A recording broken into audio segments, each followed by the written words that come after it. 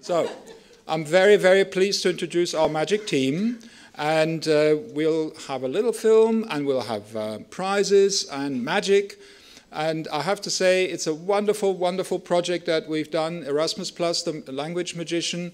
And of course, we are so grateful to ALL, our Spanish friends, our Italian friends, uh, several universities, Reading, Westminster, and of course, Italian universities from Siena uh, and Perugia, and from Germany, Leipzig, and of course, we, the Goethe Institute. Now, the heart and soul, uh, the, the magic boss is, of course, Roma, Roma Schulz. And I think I'll pass on to her because she will present you how to do the language magician in the classroom.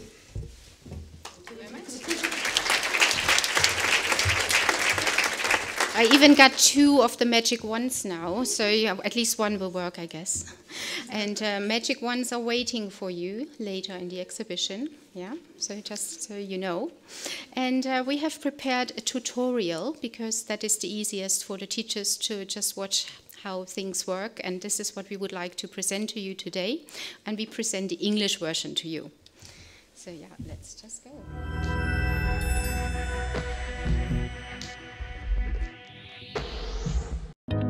Assessment with a magic touch. Look no further than the language magician.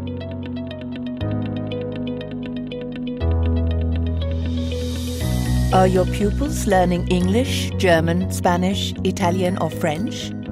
And is their school language or their mother tongue Spanish, English, Italian or German? Then check out how you can use the game.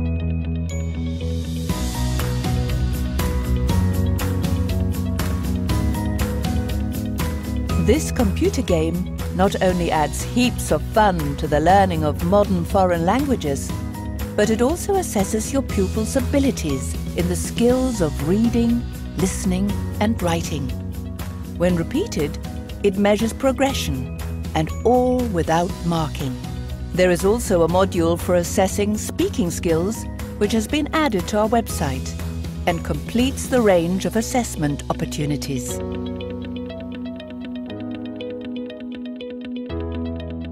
Using the Language Magician, you can evaluate your pupils' four language skills within two lessons. What do you need to play the game? Computer, laptop, iPad or tablet for each pupil, internet connection, one set of headphones per pupil. You need an access code. Go to our website and fill in the required data read the terms and conditions and agree to them. Within 24 hours of submitting your data, an access code will be generated. You need a data sheet. Prepare a data sheet with your pupils' names and give each of them a nickname. Nicknames must consist of at least three alphabetical letters.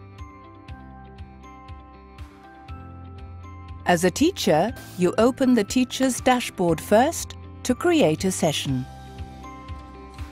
Fill in the data, choose level 1 or 2, agree to the conditions and set a new session by pressing New Test Session. A code with four letters will appear. Now you need to open this session on all the devices for your pupils. The pupils or you go to the website and open the game. A book appears and opens with a musical sound. The game is ready. Pupils fill in the four-letter code. Some teachers might wish to do this for the whole class before the session, also checking that the headphones are working.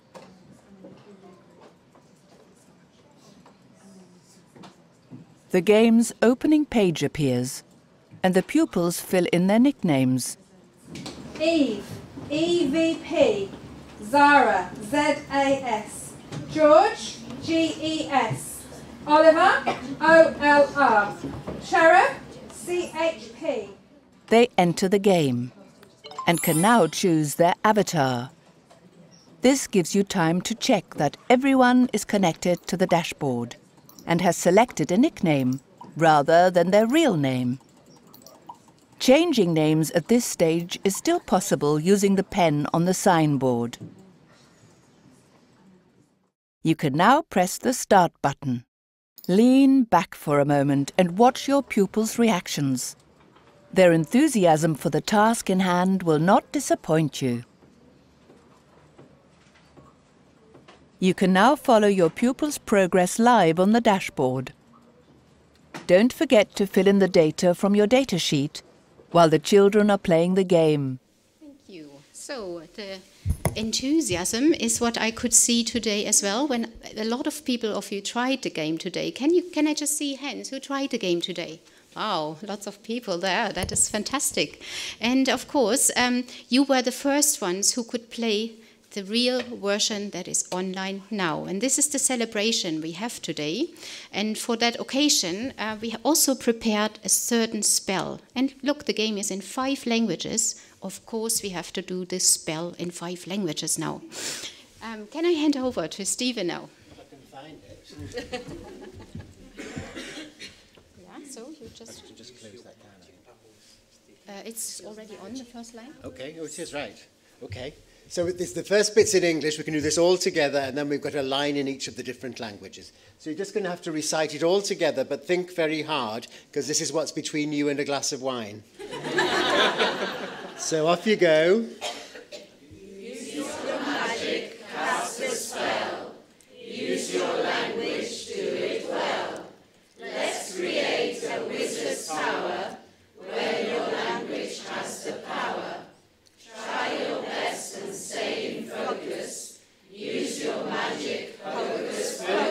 Now we've got French. And Italian. And German. And Spanish. Well done. Ah, just in time for the Italian. Italiano.